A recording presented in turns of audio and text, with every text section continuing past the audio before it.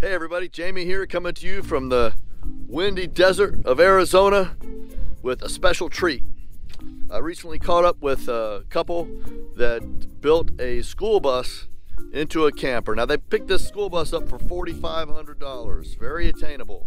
And over four years put a total of 38,000 into it by in very creative ways making some very cool things happen. If this is the kind of content that you're interested in, I would ask you to hit the subscribe button and the bell notification because there's a whole lot more where that came from. Also, my patrons, I really appreciate you guys. You keep me going out here and it really means a lot to me. If you were in the area and you built out your own rig and you'd be interested in giving a tour and talking about what you did and how you put everything together, send me an email at enigmaticnomadics at gmail.com. In the meantime, let's ch ch ch check it out. Have lots of conversations about ideas. Write them down. See how she's looking at me when Floor she's plans. See how she's looking Write at me? them down.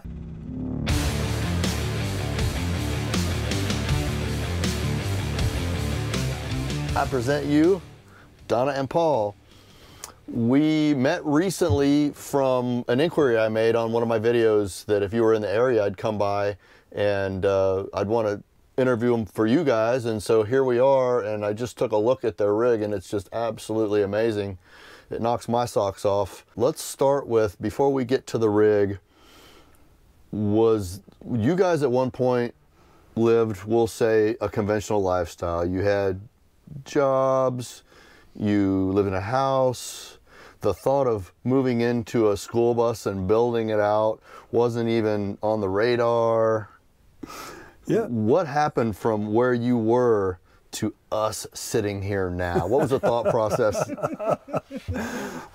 Boy, a lot's happened in a short period of time. It seems like uh, Jamie, for one thing. But you're absolutely right. We we had a house, uh, and uh, I think we started watching videos on skoolie builds, and uh, I think I might have mentioned something to Donna like, "Wow, isn't this cool?" She immediately jumped on it and said, "Let's do it," which just I wasn't ready for that. You know, it's like be careful what you wish for. So immediately she said, "Let's let's get a skoolie. Let's let's build one out." Well, that was the beginning of a, of about a four and a half year process of us getting a skoolie, and then, uh, like you say, right to where we are now. We had no clue what we'd be, what it would be like, what the what the lifestyle would be like. Uh, all we knew was what we had seen, pretty much on on videos, like you know, watching you or or whatever, just to find out what kind of things can we expect. You don't know until you're here, and we're glad we're here. Donna, why was it such an easy sale? because Vermont winters are long and cold. And I moved there ooh, to raise my kids and to start a new life. And once they got old enough, it was time. It was time for me to get out of the cold and to be warm. Yeah, But it's, a school bus isn't that for ne'er do wells that sleep on the floor in a sleeping bag? Come I was on. okay with a camper, but once we got talking, Paul really didn't want to go the route of a camper just because the school bus is built a little bit better and different for what we needed. So your first thought was, so we're gonna get a camper, right? Yes. yeah. And then he said, no, no, no, we're gonna we're gonna find a school bus that's been decommissioned. Yeah, he sold his And, motorcycle. and you know all those pallets out in the back that I've been saving? Oh, we're gonna take those pallets, put them in the school bus that's been decommissioned, Yes. and we're gonna live in that. Yes. That was awesome. And we went to Connecticut to get Paul has a history of really good ideas. Oh. and so you're like, man, he's on a roll. I've got a history of ideas. idea. Lots of great ideas. Yeah. But it's basically both of us Yeah. together. We, Yeah. we liked the idea of a school bus. The more we looked into it and saw how solidly they were built and how they're really built to keep kids safe. That's right. Uh, I mean, most most uh, school buses they don't put their kids in safety belts. They're made to roll over and not crush. I mean, they've got a truck engine, a truck transmission. They're pretty solid and make a make a great platform for a custom build. Tell me about your background. But yeah, I've just always worked nine to five jobs from ski molding uh, for Rossignol to working in grocery stores. I had a long career uh, at IBM. Uh, I was self employed for uh, 15 years in a window cleaning and power washing business that I was able to sell to my employees. And then my last job was more or less what am I going to do with myself? And a job as a, a custodian, a janitor, or facilities maintenance uh, person at a local elementary school came up. same school that uh, her kids uh, went to school at. And uh, it was the best job I ever had. The kids were great. The teachers were great. I had a lot of support from the staff, and uh, I miss it. I miss that, that, and the people that I used to work with, and especially the, the young kids were so sweet. They really were so great. It seems like a really low stress job to me. I'm all about low stress, Jamie. I really am. I've done the stressful things. I just find that uh, it isn't always worth it. You know, to to uh, put yourself in a position. It takes a toll on your health. It, it uh, when you. I'm the kind of person that if I leave a job and it's stressful, I take the job with me. I can't just sort of close the doors on it. So yeah, I've been careful to try to uh, pick that kind of a lifestyle for myself, uh, for my own well-being and for the well-being of uh, of my family. Uh, it just works out better that way. Yeah. But you're right. Uh, That, that's just a, a better direction for me. Donna, Paul was mentioning that you have had part-time jobs. You want to talk a little bit about that because you know folks watching this want to know you're a regular person. I am a regular person. I've worked my entire life. Yeah. I've had office jobs uh, before I moved to Ver- to Vermont, and had a lot of different jobs in an office, all different environments. Moved up north, became a stay-at-home mom, raised my kids, grew vegetables, had a huge uh, garden, had a roadside stand. I ended up cooking at restaurants up there and then started serving just a couple nights a week, extra money, raising my kids. And then I found a job at a private label cosmetic company, worked there for 15 years. The company treated me well, but I hated being inside because when I moved from Connecticut to Vermont, that wasn't the plan. I wanted to leave that stress and that whole lifestyle behind me. So I found myself right back in it. When I was finally able to leave, I was very happy. Mm-hmm. Everything changed in my life, and I went back to serving, and I love serving. She's a good server. She, it's really a gift of hers, and uh, yeah, she does well at it. So And it's, it's, she's where she's supposed to be. Yeah. and yeah. I don't work that hard. Serving is hard work, but you make great money, and I only work as much as I want to. Yeah, and I supported her with my large janitorial income. Uh, No, we just we, we don't have a very lot of money. We don't have a lot of money. We don't spend a lot of money. Right. But you also look pretty happy. Uh, well, we work at that. Yeah. That that's That's uh, work Yeah, every day well, in this life. It's that work. is, uh, yeah. it- it's something you got to be focused on staying staying there. Yeah. It looks like a battle that you're definitely winning. Yeah. Thank you. That's Thank a nice you. way of putting it. You're, you're you're just off since June into this lifestyle. You've built the rig out yourselves. Uh, what's what's on the horizon for you? Have you you left the northeast, came out to the southwest, which is a, a snowbird destination. At one point, Quartzsite was the the snowbird destination of, of the world. I don't know if it still holds that title, but here we are in Yeah. Quartzsite, Arizona. What's next? Have you thought? Wow, now we're gonna X Y Z. We go back home. We have a little piece of land that he developed into. Uh, it's like our own little family campground. So we have three campers on that site, and it's along a river, a stream. yeah, along uh, South Wheelock Branch in Wheelock, Vermont. So we kind of live like this in the summer Yeah. as well. We live in our Yeah. camper on our own property and listening Yeah. to the stream and having fires and family It's a nice times. spot. This year we're just gonna take it easy and kind of learn. Yeah, it's sort of the, the like that. cautious approach to uh, uh, to boondocking in the desert 101. This is definitely a learning experience for us and our, and our first time doing it. So we're just trying to figure it out. I think you're on the right track.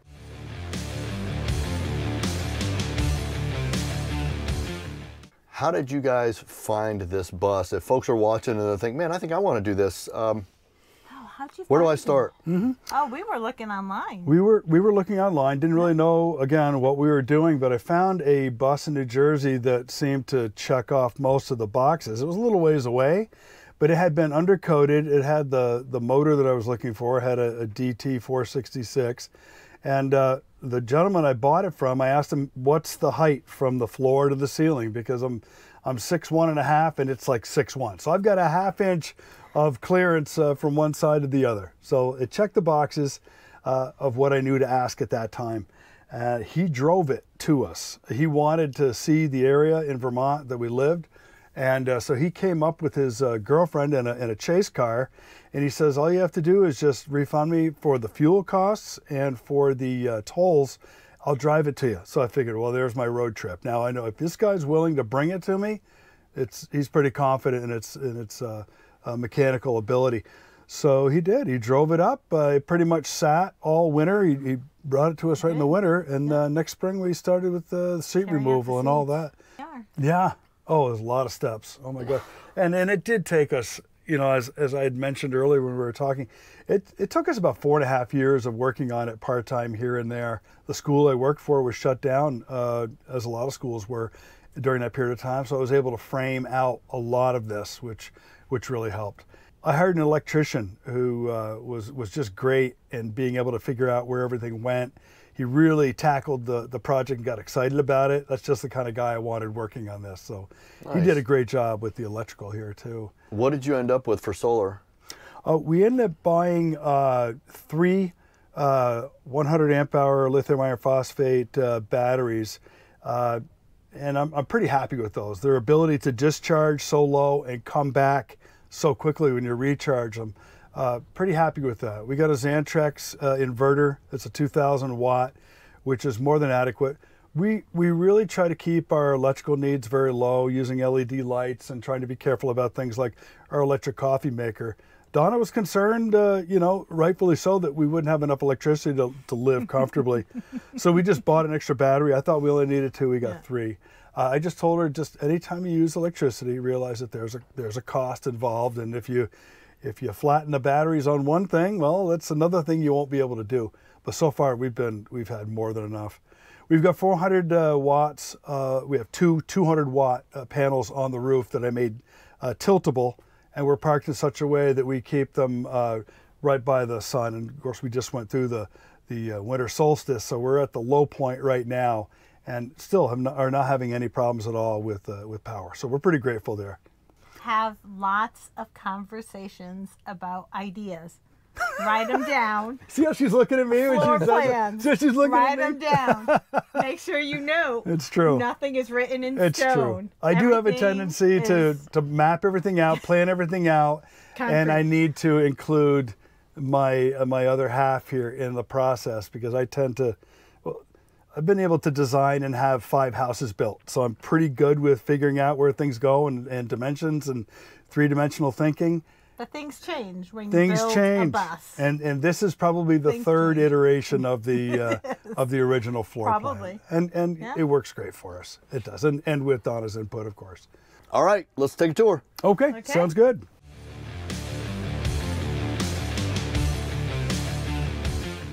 I kind of wanted to save these to the end, but I just can't stand it.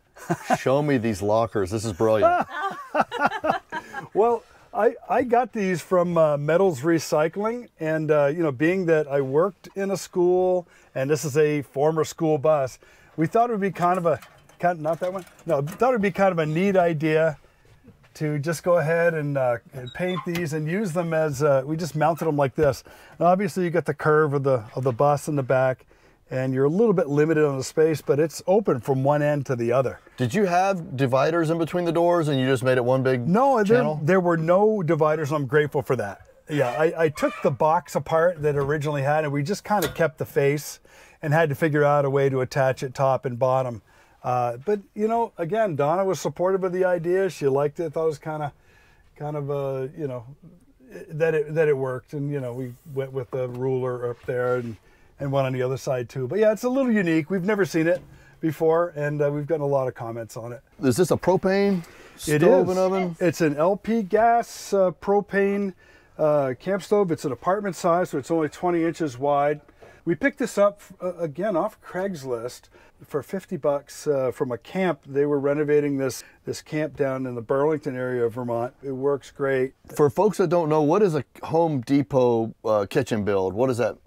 Well, basically all of our components came from Home Depot, or uh, or you can get them from Lowe's or whatever, big box uh, construction store, as opposed to me uh, custom building all the cabinets, which I could have done, but would have also taken so much longer for me to do. It was just an easier way to go. I'm pretty happy with the way they came out. Donna uh, stained them all and uh, painted the knobs uh, color that she liked. And this countertop, this Formica countertop, is the exact same one we had in our last home that we uh, that we sold. So it's funny. She went in there and, and said, "Yep, that countertop," which is any husband is so happy when his wife goes in and says, "Yeah, that's it. I want that one," as opposed to, "No, let's look at a Right. hundred different samples." she was uh, she was great try and about keep that. It simple and low Yeah. budget. We don't try and put a lot of money into cabinets and sinks. I mean, the sink was free. He found the sink and he refurbished it, cleaned it up. And as many people know, when you live in a skoolie, a lot of us don't have a bathroom sink. So we need a decent sink in the kitchen. Right, right. It does double duty. Yeah, Yeah. for sure. Well, it came out great. Sure let's did. uh, let's move on. Let's take a look at the rest. We ended up with uh, this unique uh, uh, 12 volt refrigerator. So it's kind of cool. It just runs right straight off our batteries. I wish I'd checked out how many amps it takes. I think it's what four and a half amps. Uh, amp hours, pretty pretty low, and it works pretty good. It gives us a, a lot of space. Let me just go ahead and show you inside here. We originally were going to go with uh, the chest type of refrigerator freezers. Yeah. We were going to get two of them. Uh, we bought one and found that it was a little bit uh, a little bit small, and it probably wouldn't have worked out. Donna found this through Costco, and we picked it up. I think it was around 1,100, 1,200 bucks maybe total. Just over a thousand. Yeah, just over a thousand bucks, and it's I'm I'm really Another happy with it. compromise. I'm really happy with it. I put a little desk down here, a little fold down desk. This was my uh, uh, my uh, answer to not having a dinette or a flat surface, but pretty much all we use it for is to put stuff on. Or my So- sewing table. oh, your My sewing table, exactly. That's true. The dude That's pretty pretty simple. Yeah, the, yeah, there you go, Big Lebowski, right?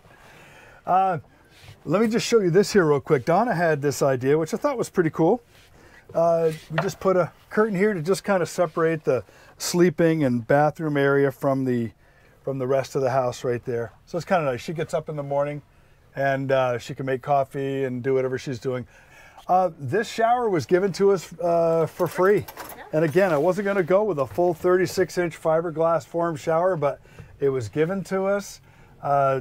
Uh, we installed it. Uh, it was fun to get in here, I'll tell you that. It was uh, difficult to get in the back door, but we're pretty grateful we have it now. It's it's been uh, it's been nice to have. How And are we I miss heating it. our water for that? Uh, we've got an on-demand hot water heater right here. It's a Camplux, and that uh, provides hot water, obviously, to our kitchen sink as well. How many gallons of fresh water are we carrying on board? Uh, we've got 84 uh, total capacity. We have two 42-gallon tanks under my side of the bed over here, and uh, so far it's been adequate. We went what, like 13 days, on when we were first here, before we had to go down and refill. Uh, so we're we're careful with water. That's one of the things we've had to learn about being here in the desert. What's going on with this uh, toilet you got? Well, it looks like uh, a regular toilet, but It looks, looks to be innocent enough. deceiving. Exactly. You know, everybody uses a toilet, uh, whether we want to talk about it or not. But basically, this is just a regular uh, toilet seat on top of a uh, a tote. The tote is double lined with a bag, and we've got some cedar chips in there. Uh, we purchased a urine diverter, I think, off of eBay, and I think that's kind of important to be able to separate your your urine from your solid waste. I think it just uh, helps keep things from from really getting foul in there. Is that a special? Is that a trash can or is that a special container? It's just a regular tote. I think we got from uh, Ocean State Job Lots or Walmart. I'm not sure. I just cut it to You, fit. you just cut it with a razor knife. Yeah, exactly. Okay. Cut it with that way. Uh, it's the uh, diverter is plumbed right down to uh, our pipe, which feeds into our gray tank. And uh, you know when it starts to get objectionable, there uh, after uh, you know whatever a couple three days, we'll pull the bag, throw it in with our trash, and throw it away just like you would a baby's diaper. This is uh, her, hers, and his as far as uh, toiletries go. We're kind of hanging it so you've got a way to conserve the room in here. you got it. So I'm That's not smacking idea. Mm. my head every time I turn around. Um, we've also um, uh, got a sticker wall in here. We're kind of collecting stickers as we go. oh man, I should Yeah. have brought a sticker. Yeah, you should have. yeah. Tell me about this wood. This is beautiful. Must cost you a fortune. Well, thank you very much. And uh, you know, uh, it actually didn't cost us much at all. Just just for the price of being able to collect pallets over the course of uh, of really a few years, I guess. We, knowing we this is the way we wanted to finish it. We collect pallets with uh, with hardwood. We've got uh, some white oak here. I don't know what species that is. It might be maple or beech, and we got some more oak. We've got some red oak in there. And anyway, I was just really tickled about finishing it uh, this way. I think it came out okay, and. Uh, I think it came out fabulous. Yeah. Is that water-based uh, polyurethane? uh, I, I think it is. Yeah, I think that is a water-based polyurethane. and how many coats is that? Are we looking Uh, at? There's probably two on this right here. There's certain areas, uh, uh, maybe that's three, but there's other areas where we put on a little more, like on our table. two or three coats. If somebody wanted to duplicate this look, would that was that a semi-satin finish or was it a Uh, gloss? it was. It was a satin finish. Exactly. Okay. So that's what you get with the satin finish, Mm-hmm. rough cut. He didn't sand it down, which I really like that he didn't come back and sand it down smooth. It just it's a rustic look and it came out great and it's all salvaged pallets. How do you beat that? Yeah. Especially with lumber prices what they are right now. That's right. That's right. Yeah, thank you, Jamie. Building these uh, these cubbies and everything. We're working around a wheel well here on both sides, so that that of course uh, is, is something you have to think about when you're doing your layout. But uh, cubbies on this side, had a couple over here. We've got our clothing cubbies in here. Uh, again, a his and hers uh, for that. So we've got space there. Finished up with some more oak trim. We've got a shelf that kind of surrounds the whole uh, bedroom area here. And that's a king size bed in case people are wondering. Two twins. Oh, that's great. Yep. And you've got lights over here. Did you? Uh, do. Are they on a dimmer switch? They are on a dimmer switch. Uh, she insisted, and I'm glad she did. I'm a big fan of the dimmer. Oh, yeah. I It, am a big fan of yeah, the dimmer. it would have been way too intense in a bedroom uh, to have that light. It's pretty bright. So the dimmer switch makes it nice if you just need to go in there and grab something real quick and get out without blinding the other person. How many BTUs is your is your AC? That's just a, a home window unit. It's a 5,000 BTU unit. Uh, thankfully, we haven't had to use it yet. I know it works, but uh, we, we want to try to avoid using it if we if we can. But if we have it, we need it just to keep this area cool. And And you've got your generator. We These do. are the, the doors he built. He's not. He says he's not a carpenter, but they're beautiful. Beautiful. And we used all scrap wood. He used all scrap wood for the back, and we just stained it, very inexpensively. Yep. It's in her closet. Well, thanks, son. Yeah, he's not doing a very good job of convincing us that he's not a carpenter. Yeah. and then I have a full pantry. And in their full pantry here, yeah. Got your little remote storage, your little Yeah, pockets my, for That's my things. laptop, so I can work on some pictures and then some antennas. Is there anything else that you would like to to highlight on before we go outside and take a look at your trailer and your side by side? I don't know, Jamie. I think you covered it uh, pretty well. I, I think it just we got laminate floors. Uh, you know, we stripped it right, stripped it right down to the metal, redid all the metal, sanded it, painted it, and came right back up with uh, just a few layers of uh, very thin foam just to make a thermal break between the metal and the finished floor. It's warm, it's comfortable. We heat it with a with a Mr. Buddy heater. And next thing you know, you're doing something you didn't think you could do, and it, and it really ends up coming out great. So You put it together in a very original way. yeah. Well, thank you. Shoes on. I'll pretend like I love my wife. Well, folks, thanks for watching. I hope you uh, got something out of this tour. Just you. meeting Paul and Donna, they're very interesting, and we really appreciate you taking time with us today. Okay, Thank Jamie. you. Thank you so much. We really appreciate it. Right? Was that not awesome or what? Those guys are great. Let's keep the party going. I've got a video that I did of Ron Moak recently that's very similar to this. Ron has been uh, living the traveling lifestyle for some time. He's been through a few vans. He built this himself. It's, there's some great ideas in it. I think you're really gonna like it. That video is up here. And then I've also put a playlist together of my 10 best. I've been shooting videos now for seven years and I distilled my seven best van life, bus life videos down into this playlist that you'll see right here. Give that a look and thanks for watching. See you soon.